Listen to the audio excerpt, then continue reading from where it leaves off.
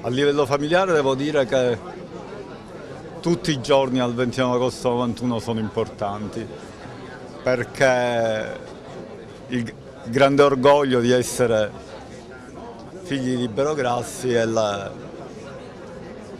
è grande onere di essere figli di Libero Grassi.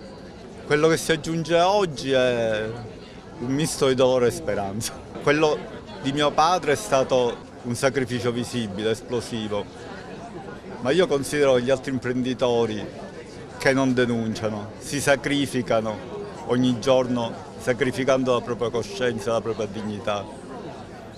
Forse un sacrificio peggiore.